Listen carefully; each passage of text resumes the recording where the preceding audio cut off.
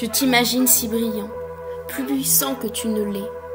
Ta lumière brûle aux premières approches, mais ta douceur s'enfume dans les premières accroches de nos destins. Foi et perfide, nous préférons grouiller en bas, là où nous sommes protégés du reste d'un monde, sous des plaquettes perfides que tu porteras de ta propre charpente. Tu m'apprendras la grâce et l'élégance, spécifiquement en me détournant de tout artifice. Pour toi, je reste belle et souriant froidement. Tu me rappelleras que ton cœur restera gelé.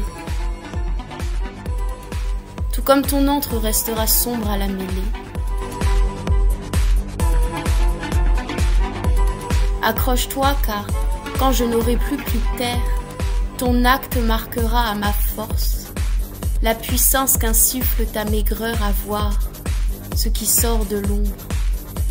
Tu ne sors pas car on pourrait te perdre. Tu t'imagines savoir, mais tu n'illusionnes que tes proches qui ne se bernent pas à tes premiers savoirs d'enfance qui ne resteront plus jamais les beaux. Grandis aux côtés d'une peluche, elle exprimera ton incompétence à savoir et ta compétence à connaître les méfaits des cœurs perfides, impactés et empoignés de ta misère, sec, sombre et propulsif.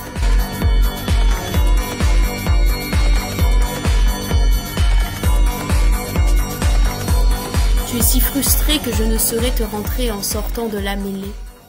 Tu es si haineux que tes côtes marquent à l'aiguille délicate la carcasse écorchée de sa chair sanguinaire qui n'attend que la douleur pour expandre la douceur au plus grand des mécréants qui te regardent avec son souffle de verre.